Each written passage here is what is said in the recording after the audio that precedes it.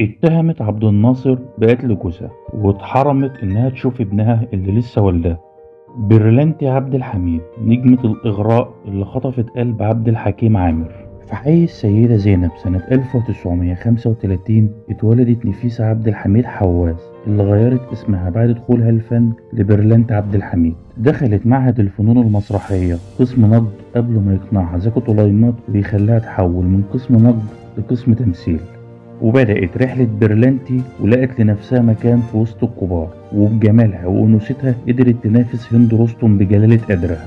وحياة برلانتي اتغيرت 180 درجة بعد ما المخابرات المصرية قررت تجندها. ويوم ورا التاني قربت برلانتي من رجال الدولة وشافها المشير عبد الحكيم عامر وكيانه اتشقلب من أول نظرة لكن بيرلانت عرفته إنها مش بتاعة لف ودوران وإنه لو عاوزها مفيش قدامه غير طريق الجواز.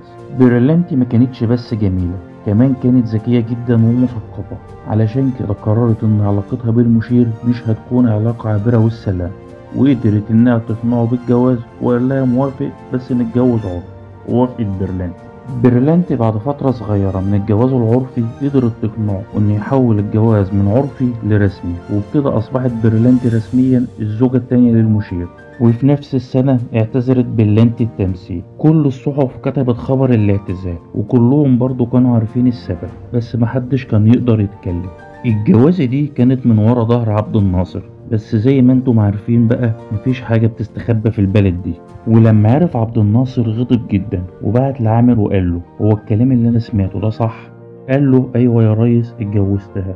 وقدام صراحة عامر وصداقته لعبد الناصر وحبه ليه ما قدرش يقول له حاجة.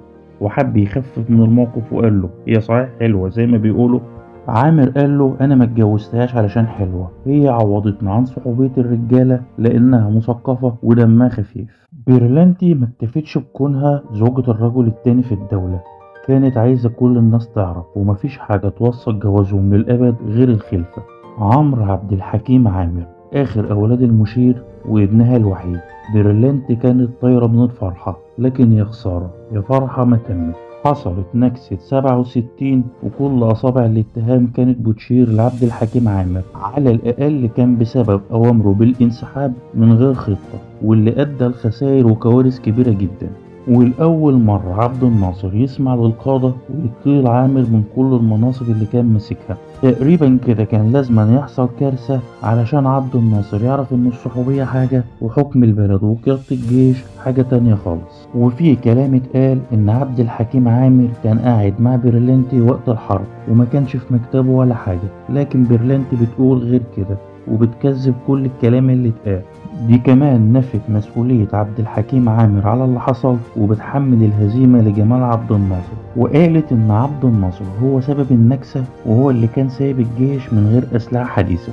وكمان حملت عبد الناصر مسؤولية موت عبد الحكيم عامر. وقالت إن اللي نفذ ده الفريق محمد فوزي. اللي مسك مكان عبد الحكيم عامر بأوامر من عبد الناصر وقالت إنهم اعتقلوها بعد وفاته وكمان كانوا بيخلوا الستات اللي معاها في المعتقل يفتشوها بطريقة مهينة جدا علشان يكسروها وكمان حددوا إقامتها بعد خروجها من المعتقل وما كانتش لاقية اللقمة ولا كانت حتى عارفة تشوف ابنها اللي لسه والداه لدرجة إنها إدت الراديو بتاعها للبواب علشان يبيعه لها وفعلا باعوا لها بأربعة جنيه قعدت تصرف منهم شهر. وكل الكلام ده قالته في كتابها المشير وأنا اللي اتنشر سنة 1993 ورجعت في 2002 عملت كتاب تاني اسمه الطريق إلى قدري إلى عامر وقالت إن الكتاب ده فيه تفاصيل موثقة أخطر وإنها فضلت تكتب فيه سنتين بحالهم. ومن التاريخ ده ولحد وفاتها في ديسمبر 2010 فضلت برلنتي تدافع عن عامر وتترحم عليه هو وصلاح نصر وتهاجم عبد الناصر ورجالته.